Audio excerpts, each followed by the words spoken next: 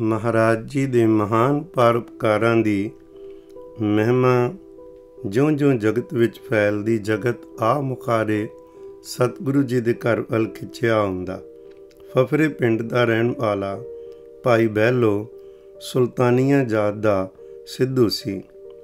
ਇਹ ਸਰਵਰ ਦਾ ਮੁਰੀਦ, ਸ਼ੇਖ ਦਾ ਨਾਟ ਠਾਟ ਕਰਕੇ ਖੁੰਡੀ ਹੱਥ ਲੈ ਕੇ ਖਲਰਾ ਗਲ ਵਿੱਚ ਪਾ ਕੇ ਨਿਗਾਹ ਜਾਇਆ ਕਰਦਾ ਸੀ। ਨਾਲ ਬਹੁਤ ਸਾਰੀ ਸੰਗਤ ਵੀ ਲੈ ਕੇ ਜਾਣੀ। ਇਹ ਸੁਲਤਾਨੀਆਂ ਦਾ ਇੱਕ ਵੱਡਾ ਆਗੂ ਸੀ। ਤੋ ਇਸ ਨੂੰ ਵੀ ਜਦੋਂ ਸਤਿਗੁਰੂ ਜੀ ਦੇ ਘਰ ਦੀ ਸ਼ੋਭਾ ਸੁਣੀ, ਖਿੱਚ ਤਾਂ ਪਈ, ਪਰ ਅੰਦਰ ਡਰ ਗਿਆ, ਮੈਂ ਇਤਨੀ ਵਡਿਆਈ ਮੇਰੇ ਕੋਲ, ਮੈਂ ਆਪ ਕਿਸੇ ਦੇ ਚਰਨਾਂ ਵਿੱਚ ਝੁਕਾਂ ਥੋੜਾ ਜਿਹਾ ਅੰਦਰ ਘਬਰਾਇਆ ਵੀ। ਜਦੋਂ ਸੰਗੀ ਲੈ ਕੇ ਸਤਲੁਜ ਪਾਰ ਕਰਨਾ ਸੀ ਇਸ ਨੇ ਅੰਦਰ ਇੱਕ ਫੁਰਨਾ ਬਣਾ ਲਿਆ। ਜੇ ਸਤਲੁਜ ਦਰਿਆ ਤੋਂ ਉਰੇ ਉਰੇ ਮੈਨੂੰ ਮੇਰੇ ਸੁਲਤਾਨ ਨੇ ਅੰਦਰੋਂ ਦਰਸ਼ਨ ਦੇ ਦਿੱਤੇ, ਫਿਰ ਮੈਂ ਸੁਲਤਾਨੀਆ ਰਹਾਂਗਾ। ਤੇ ਜੇਕਰ ਨਾ ਦਿੱਤੇ, ਤੇ ਫਿਰ ਗੁਰੂ ਅਰਜਨ ਪਿਤਾ ਦੇ ਘਰ ਜਾ ਕੇ ਰੱਬ ਦੇ ਰਾਹ ਦਾ ਰਸਤਾ ਪੁੱਛਾਂਗਾ। ਦਰਿਆ ਤੱਕ ਪਹੁੰਚਿਆ ਸੁਲਤਾਨ ਨਾ ਮਿਲਿਆ। ਇਹਨੇ ਆਪਣਾ ਅੰਦਰ ਪੱਕਾ ਕਰ ਲਿਆ। ਸਾਦੇ ਕੱਪੜੇ ਪਹਿਨ ਕੇ ਗੁਰੂ ਅਰਜਨ ਸਾਹਿਬ ਦੇ ਚਰਨਾਂ 'ਚ ਪਹੁੰਚਿਆ। ਨਮਸਕਾਰ ਕੀਤੀ, ਠੰਡ ਪੈ ਗਈ। ਲੱਗਾ ਜਿੱਥੇ ਆਉਣਾ ਸੀ, ਮੈਂ ਉੱਥੇ ਆ ਚੁੱਕਾ ਹਾਂ। ਸਤਿਗੁਰੂ ਜੀ ਨੇ ਨਾਮ ਸਿਮਰਨ ਵਿੱਚ ਇਹਨੂੰ ਲਾ ਦਿੱਤਾ। ਸਿੱਖੀ ਦੀ ਖੁਸ਼ਬੂ ਇਹਦੇ ਅੰਦਰ ਸਤਿਗੁਰੂ ਜੀ ਨੇ ਰਹਿਮਤ ਨਾਲ ਭਰੀ, ਤਨੋ ਮਨ ਹੋ ਕੇ ਸੇਵਾ ਕਰਦਾ ਹੈ। ਪਹਿਲਾ ਕਰਮ ਖੁੰਦਾ ਹੈ ਮਹਾਰਾਜ ਜੀ ਦੇ ਘਰ ਆਉਣਾ। ਇਹ ਬਹੁਤ ਵੱਡੀ ਬਖਸ਼ਿਸ਼। ਫਿਰ ਮਹਾਰਾਜ ਜੀ ਦਾ ਹੁਕਮ ਕਮਾ ਕੇ ਉਹਨਾਂ ਦੀ ਖੁਸ਼ੀ ਲੈ ਕੇ ਜਨਮ ਮਰਨ ਦੇ ਗੇੜ ਚੋਂ ਨਿਕਲਣਾ ਇਹ ਅਗਲਾ ਅਭਿਆਸ ਕਰਨਾ ਹੁੰਦਾ ਹੈ, ਜਿਹੜਾ ਕਿ ਵਿਰਲੀਆਂ ਰੂਹਾਂ ਦੇ ਖਿੱਸੇ ਆਉਂਦਾ ਹੈ। ਉਹਦੇ ਤੋਂ ਬਗੈਰ ਜ਼ਿੰਦਗੀ ਵਿੱਚ ਸਫਲਤਾ ਨਹੀਂ। ਜਦੋਂ ਸਤਿਗੁਰੂ ਪਾਤਸ਼ਾਹ ਜੀ ਅੰਮ੍ਰਿਤ ਸਰੋਵਰ ਨੂੰ ਪੱਕਾ ਕਰਵਾ ਰਹੇ ਸਨ, ਇੱਟਾਂ ਲੱਗ ਰਹੀਆਂ, ਇੱਟਾਂ ਕੁਝ ਪਿੱਲੀਆਂ ਵੇਖੀਆਂ।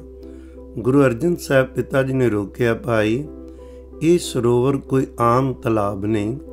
ਇਹ ਸਰੋਵਰ ਅਕਾਲ ਪੁਰਖ ਦੇ ਹੁਕਮ ਨਾਲ ਬਣ ਰਿਹਾ, ਜਿੱਥੋਂ ਲੱਖਾਂ ਕਰੋੜਾਂ ਕਰੋੜਾਂ ਰੂਹਾਂ ਨੇ ਇਸ਼ਨਾਨ ਕਰਕੇ ਆਪਣਾ ਭਲਾ ਕਰਵਾਉਣਾ ਹੈ। ਚਾਹਨੇ ਆ ਇਹਦੇ 'ਚ ਕੋਈ ਪਿੱਲੀ ਇੱਟ ਨਾ ਲੱਗੇ, ਪੱਕੀ ਇੱਟਾਂ ਲੱਗਣ। ਮਹਾਰਾਜ ਐਖੋ ਜਿਹੇ ਹਾਲਾਤ ਬਣੇ ਨੇ, ਕਈ ਵਾਰ ਆਵੇ ਚਾੜੇ ਨੇ, ਇੱਟਾਂ ਪੱਕੀਆਂ ਨਹੀਂ ਨਿਕਲ ਰਹੀਆਂ। ਕਿਵੇਂ ਨਿਕਲ ਸਕਦੀਆਂ ਭਾਈ? ਜੀ ਜੇਕਰ ਮਲੀ ਮਿਲੇ ਮੈਲਾ, ਫਿਰ ਹੋ ਸਕਦਾ ਹੈ। ਜਦੋਂ ਗੁਰੂ ਅਰਜਨ ਸਾਹਿਬ ਜੀ ਨੇ ਬਚਨ ਇਹ ਕਹੇ ਵੀ ਮੈਲਾ ਮਿਲੇ, ਮੈਲਾ ਇਕੱਠਾ ਕੋ ਕਰੇ, ਫਿਰ ਇਹ ਆਵੇ ਦੀਆਂ ਇੱਟਾਂ ਪੱਕੀਆਂ ਨਿਕਲ ਸਕਦੀਆਂ ਨੇ। ਪਰ ਇਹ ਸਾਰੀ ਕਿਤਨੇ ਪ੍ਰੇਮੀਆਂ ਨੇ ਸੁਣੀ ਗੱਲ, ਪਰ ਅੰਦਰ ਸੁਣੀ ਉਹ ਭਾਈ ਬਹਿਲੋ ਜੀ ਨੇ।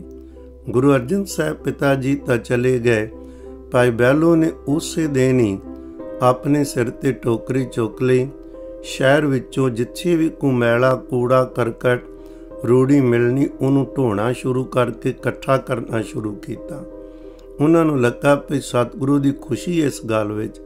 ਭਾਈ ਬੈਲੋ ਨੇ ਪਰਵਾਹ ਨਹੀਂ ਕੀਤੀ, ਮੈਂ ਇਤਨੀ ਵੱਡੀ ਪਦਵੀ ਦਾ ਮਾਲਕ ਹਾਂ। ਲੋਕ ਮੈਨੂੰ ਕੀ ਕਹਿਣਗੇ? ਲੋਕ ਲਾਜ ਹੀ ਇਸ ਰਸਤੇ ਵਿੱਚ ਰੁਕਾਵਟ ਬਣਦੀ। ਇਹਨੇ ਲੋਕ ਲਾਜ ਦੀ ਪਰਵਾਹ ਨਹੀਂ ਕੀਤੀ। ਜਿੱਥੇ ਸਰਵਰੀਆਂ ਵਿੱਚ ਜਾਂਦਾ ਸੀ, ਉਹਨਾਂ ਦੀ ਨਹੀਂ। ਨਿਮਰਤਾ ਵਿੱਚ ਆ ਕੇ ਜਦੋਂ ਸੇਵਾ ਆਰੰਭ ਕੀਤੀ, ਇਹਨਾਂ ਨੂੰ ਵੇਖ ਕੇ ਹੋਰ ਵੀ ਸੰਗਤਾਂ ਲੱਗ ਗਈਆਂ। ਜਦੋਂ ਆਵੇ ਵਿੱਚ ਮਲੀ ਪਾਈ ਇੱਟਾਂ ਰੱਖੀਆਂ, ਇੱਟੀਆਂ ਇੱਟਾਂ ਲਾਲ ਸੁਰਖ ਨਿਕਲੀਆਂ। ਜਦੋਂ ਉਹ ਫਿਰ ਸੇਵਾ ਵਿੱਚ ਆਈਆਂ, ਗੁਰੂ ਅਰਜਨ ਸਾਹਿਬ ਪਿਤਾ ਜੀ ਦੇ ਕੌਤਕ ਤੇ ਆਪਣੇ ਹੋਇਆ ਕਰਦੇ ਖਾਨ ਮਹਾਰਾਜ ਜੀ ਕਹਿਣ ਲੱਗੇ, ਭਾਈ, ਇੰਨੀਆਂ ਸੋਹਣੀਆਂ ਇੱਟਾਂ, ਲਾਲ ਸੁਰਖ ਇੱਟਾਂ, ਇਹ ਕਿਵੇਂ ਆ ਗਈਆਂ? ਸੰਗਤ ਸਾਰੀ ਨੇ ਭਾਈ ਬਹਿਲੋ ਦੀ ਵਡਿਆਈ ਕੀਤੀ ਜੀ। ਇਹ ਭਾਈ ਬਹਿਲੋ ਦੀ ਕਰਨੀ ਕਰਕੇ ਇੱਟਾਂ ਇੰਨੀਆਂ ਸੋਹਣੀਆਂ ਨਿਕਲੀਆਂ ਨੇ। ਸਤਿਗੁਰੂ ਪ੍ਰਸੰਨ ਹੋ ਗਏ। ਇਸ ਕਾਰ ਤੇ ਬੁਲਾਓ ਭਾਈ ਬਹਿਲੋ ਨੂੰ। ਉਹਨੇ ਆ ਕੇ ਸਤਿਗੁਰਾਂ ਦੇ ਚਰਨ ਚੁੰਮੇ। ਮਹਾਰਾਜ ਜੀ ਕੀ ਹੁਕਮ ਹੈ? ਸਤਿਗੁਰੂ ਜੀ ਨੇ ਹੁਕਮ ਨਹੀਂ ਕੀਤਾ, ਸਗੋਂ ਇੱਕ ਬਚਨ ਕਰ ਦਿੱਤਾ, ਜਿਸ ਬਚਨ ਦੀ ਕੋਈ ਕੀਮਤ ਨਹੀਂ ਹੈ। ਕਹਿਣ ਲੱਗੇ, ਭਾਈ ਬੈਲੋ ਜੋ ਤੂੰ ਸੇਵਾ ਕਮਾਈ ਹੈ, ਮਾਨ ਤਿਆਗਿਆ ਹੈ, ਇਹਦੀ ਬਖਸ਼ਿਸ਼ ਭਾਈ ਬਹਿਲੋ, ਦਰਗਾਹ 'ਚ ਤੇਰੇ ਲਈ ਬਖਸ਼ਾਂ ਸਭ ਤੋਂ ਪਹਿਲੋਂ। ਤੇਰੇ ਲਈ ਉਸ ਅਕਾਲ ਪੁਰਖ ਦੀਆਂ ਬਖਸ਼ਾਂ ਸਭ ਤੋਂ ਪਹਿਲਾਂ ਤਿਆਰ ਹੋ ਗਈਆਂ ਨੇ। ਉਹਨੇ ਸਿਰ ਝੁਕਾਇਆ, ਉਹਨੂੰ ਵੇਖ ਕੇ ਹੋਰਾਂ ਪ੍ਰੇਮੀਆਂ ਦੇ ਵੀ ਸਿਰ ਝੁਕ ਗਏ। ਕਮਾਲ ਏ, ਕਿਹੜੇ ਢੰਗ ਨਾਲ ਇਹਨੇ ਸਤਿਗੁਰੂ ਦੀ ਬਖਸ਼ਿਸ਼ ਇੱਕਦਮ ਲੈ ਲਈ, ਜਿਹੜਾ ਸਫ਼ਰ ਕਈ ਜਨਮ ਲੈ ਕੇ ਵੀ ਤੈਅ ਨਹੀਂ ਸੀ, ਆਪ ਤੋਂ ਹੋਣਾ।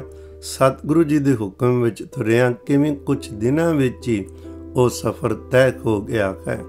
ਸਤਿਗੁਰੂ ਜੀ ਦਾ ਇਹੋ ਜਿਹਾ ਹੁਕਮ ਤੇ ਵੇਖ ਕੇ ਗੁਰਸਿੱਖਾਂ ਦੀ ਕਰਨੀ ਸਾਨੂੰ ਸੁਚੇਤ ਹੋਣਾ ਚਾਹੀਦਾ ਅੱਠੇ ਪੈਰ, ਕੋਈ ਵੀ ਗੁਰੂ ਦਾ ਹੁਕਮ ਆਵੇ, ਮਨ ਇਹ ਨਾ ਕਵੇ ਇਹ ਹੁਕਮ ਸੰਗਤ ਨੂੰ ਕੀਤਾ ਹੈ, ਅੰਦਰ ਆਵੇ ਇਹ ਹੁਕਮ ਮੇਰੇ ਲਈ ਹੈ ਮੈਂ ਕਮਾ ਕੇ ਇਹਦੇ ਚੋਂ ਸੁਖ ਪ੍ਰਾਪਤ ਕਰਨਾ ਹੈ।